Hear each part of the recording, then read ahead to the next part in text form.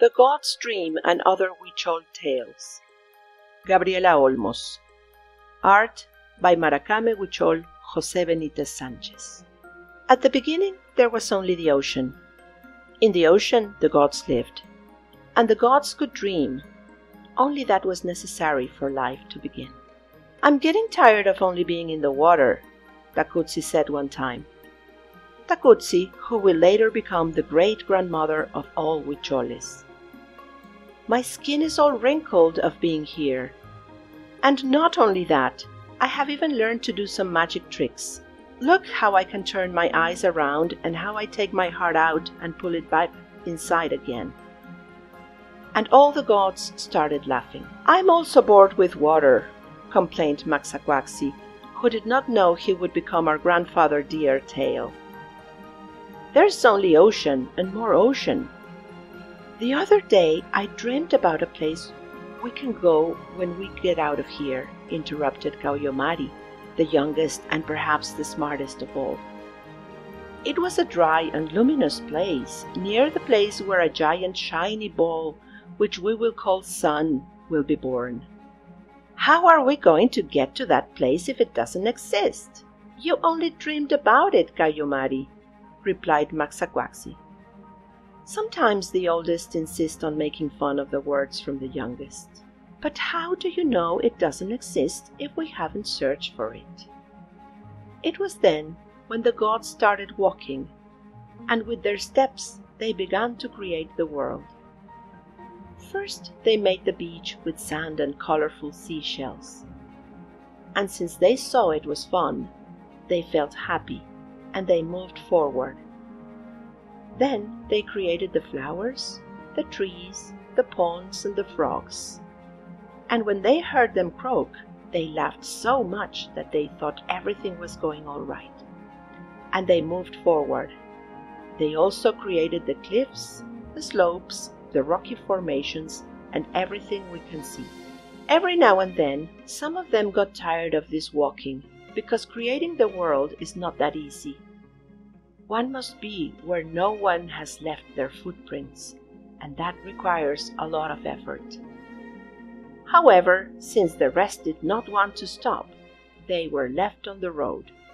And they, to embellish the world, would turn into water springs, hills, and even old trees, those who look like they have always been there. Everything would have turned just perfect, and the gods would have arrived without a problem to the desert where later the sun would rise, if Maxaquaxi hadn't had a nightmare. I dreamed with some giants, he said as he woke up alarmed. They were a bit full, but they had some instruments with which they could get easier to the place we want to reach. And since they had learned that everything you dream may come true, they were not surprised when the giants appeared in the world. Look at them! They have feathered sticks and some gourds. Kauyomari called the attention from the gods with a soft voice so that the giants would not know that the gods were spying on them. Surely all these instruments are really powerful. Hey, I'm sure they aren't, Maxaquaxi interrupted. Then why, if they are so full, they have got this far? We should steal them so that we can travel faster.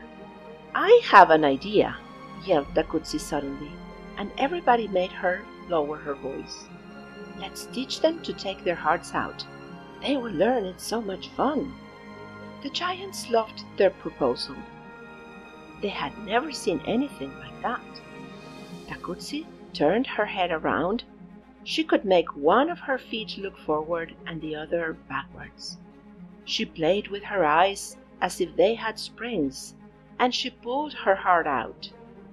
And the giants copied her clumsily, although slowly, because after each trick they stopped to laugh for a while, just like fool people do when they believe something is going right. Finally, we made it! yelled Kauyomari when she discovered that the giants had tried to pull their hearts out. And they suffered from pain because that was only a privilege for Takutsi. I also dreamed about it, Maxaquaxi exclaimed, full of joy, while the gods stole the gourds and the feathered sticks that later would become their sacred instruments. The gods didn't take long to learn to do their rituals with those instruments recently stolen. They moved their feather sticks while they thought of all that could make them happy. They made offerings with arrows and gourds, and they even learned to sing. As for the giants, what a pity! They are still trying to learn to do Takutsi's tricks, with no success. Maybe when they succeed, they will open a circus, or perhaps they decide to continue walking towards the east. Some people think that it was thanks to their prayers that the gods could reach the desert where the sun comes out. There is no doubt that their rituals helped them to reach their destiny. But the gods would have never seen the sunrise if they hadn't been bored that day in the ocean, and above all, if they hadn't dared to dream of